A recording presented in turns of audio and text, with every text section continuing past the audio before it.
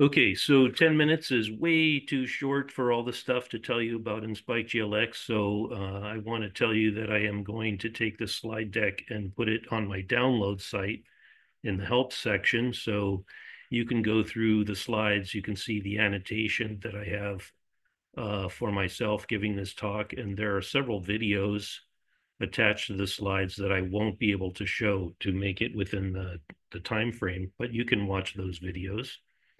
So SpikeGLX is one of the uh, two uh, popular GUI softwares for talking to NeuroPixels probes.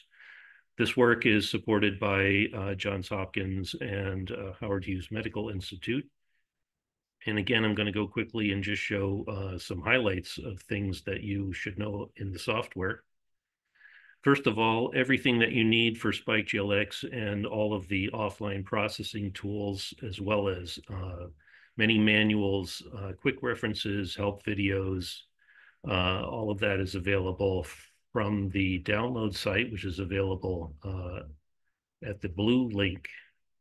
And I would urge everybody uh, to get the latest version of the software uh, because that will run all the newest hardware like one boxes and all of the newest probes as well as all the old stuff. So it's good to get the new version. The download site looks very quickly like this. I'm not going to dwell on this, but there's tabs across the top uh, to get different uh, categories of information and a table of contents, and you can scroll. In particular, uh, if you're just getting started, you should look at this quick reference uh, PowerPoint, which highlights the main fields that you should pay attention to when configuring a run for the first time. Um, also, the most important documents to read and be familiar with, I still feel, is the user manual. And I want to point out that there's a new document just created for OneBox. Uh, there's a OneBox quick reference, which will tell you all about how it works and how to set it up with Spike GLX. Um, I'm going to skip this. So just, well, just briefly, uh, we used to have a shank map uh, which is now retired and become a geometry map. So we're switching from describing the sites that are selected on a probe by just their index number in a grid to the actual physical coordinates in microns where these are in a coordinate system. And you can learn all about that in the metadata 30 document indicated here. Um, in the configuration dialog, uh, a couple of things to point out. Um, let's go uh, right away to uh, a one box. This is this is what a one box looks like. Uh, it's a combination of two devices in one, uh, so it can do uh, NeuroPixels probes via two uh, ports that work just like a PXI base station. So it's like a small base station. And it also has uh, 12 analog channels that you can uh, record from, and they can be digital outputs and play waveforms. This is uh, a USB 3 device. It is not a PXI device.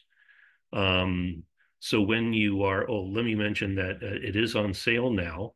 It was just announced at SFN. So you can go to the neuropixels.org website and you can put in an order for one. They're 3,600 euro. Uh, but again, going back, it's not a PXI device, so it doesn't have a slot. Uh, but when we uh, in Spike GLX have you tell us uh, where you plugged in your probes, you need to tell us the slot and port and dock where you plugged in your parts. So what you're going to do is you're going to go to the configure slots dialog, which is shown here on the left. You're going to click on your uh, one box. It should be turned on, so it will show up here. You click on it and then you can assign it a slot number, and now it can show up in the table. Uh, moving on in the uh, IMEX setup tab, I want to point out just a couple of features that you should know about. So there's a low latency checkbox, which is a trade-off. Uh, you're going to have a little bit more CPU activity, but you'll have lower latency when you're fetching data from remote programs that you can use with Spike GLX that you write yourself using our SDKs. Um, one of the most important features, I think, in the software is the uh, probe survey mode. So if you check the box here, um, and set a number of seconds that you want to sample per bank, what happens is that activity is sampled from the entire surface of the probe, bank by bank by bank.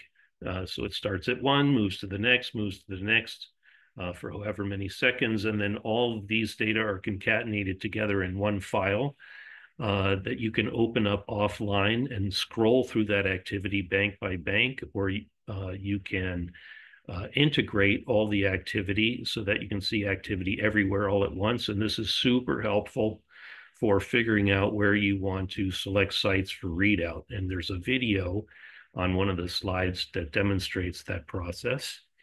Also on this tab, uh, you'll get much better signal to background for listening in audio and for looking at data in the Shank viewers uh, when you click on these uh, filtered stream buffers uh, so that we have better quality data feeding those uh, visualizations, you get to set the bandpass filter range and the data will go through common average referencing. So it's much cleaner looking for those features. Um, as always, this is where you come to double click to open up the uh, IMRO table editor, which is the tool that selects which sites you want to read out. And that has been uh, updated massively in the latest releases. Uh, it's much more flexible now. So the boxes that you click to put on the probe, uh, when you click, you're going to put the center. These boxes can now be of varied sizes, uh, unlike before. They can be the full width of the shank, or they can be half shank width boxes. Uh, when you click a box, you can uh, you can grab it and resize it from either end. And again, they can be different sizes from each other. So it's much easier to tailor your readout to where the activity is more precisely. You're not limited to just a few same size boxes. Um, as always, uh, selecting which sites you want to read out from is much easier done with some context.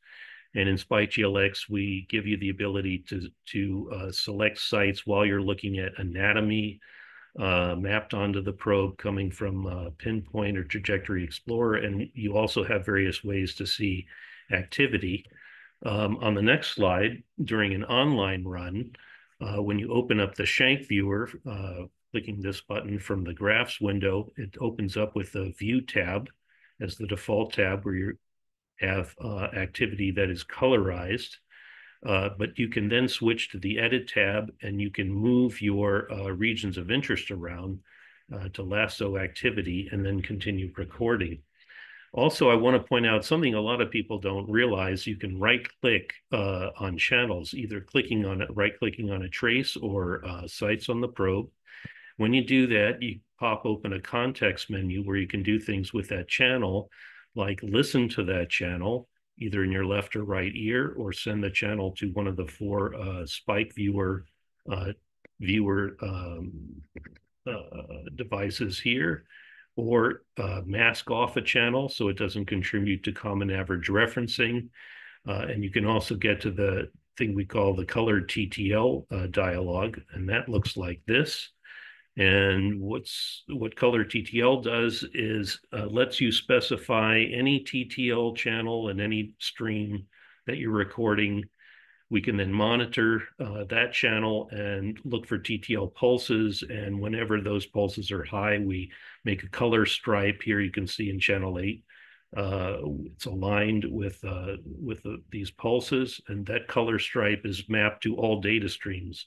So you can see when spiking activity is occurring, for example, in conjunction with uh, with laser stimulation, for example, and you can do this with four different channels and four colors. I'm really running out of time quickly. Uh, when you're using Pinpoint or Trajectory Explorer uh, in SpikeGLX, you want to be sure to open up, uh, you want to be in, uh, in an online run open up the Shank viewer, go to the View tab. That's where you're going to see the annotation and the colors coming from the atlas. And you have uh, the ability to colorize your uh, shank or your traces according to that data. That's where you do this. Um, there's a video here I'm not going to be able to show about using the offline file viewer. You can open up multiple files that were recorded at the same time in a run you can time link them together and scroll them together so that you can look at uh, for example, TTL activity and uh, trace activity that happens synchronously. That's super useful. Another thing, um, moving on to the next slide, another thing, another video I'm not going to show you uh, is opening up one of these probe survey runs that will allow you to scroll bank by bank by bank or integrate the activity and see activity everywhere.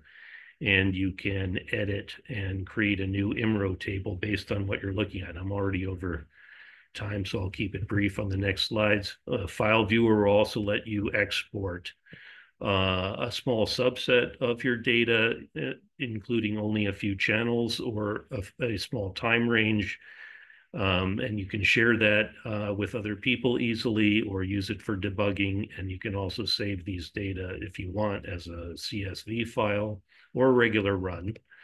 Um, couple other features that are already in the software you might not know about. If you do Control T, you can get a whole different, separate graphs window with two more streams and two more shank viewers to look at. So you can look at four uh, probes at the same time on the same screen on their screens. Um, there's a metrics window, Control M, that opens up the window you see here that has a wealth of readouts on the health of the of the system and whether it's keeping up with the bandwidth of the data. Um, and it's you get uh, simple uh, color, uh, green, yellow, or red, uh, telling you whether you're doing well or starting to fall behind. In the graphs window, you can uh, uh, orient the uh, the two stream views to be side by side, or you can put them one on top of the other in this menu here, or just show one of them. Real quick, new features that are on their way, which are very useful. I'm going to point out in particular a waveform designer uh, for um, opto-tagging.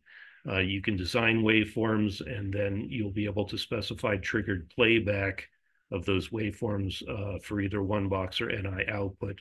I'm going to have a PSTH viewer in the software for opto tagging, and I'm going to see what I can do to make Spike GLX work with the Open Ephys um, ONIX-based uh, commutator system. So you'll be able to do live behaving animals and not twist your cables in a reliable way. So we want to be able to uh, let you use that system.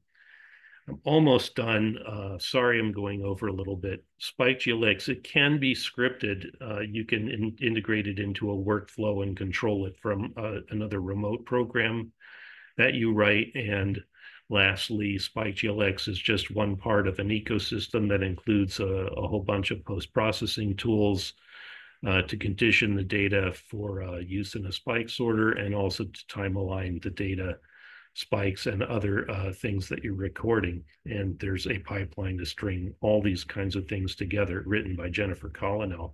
And that's it.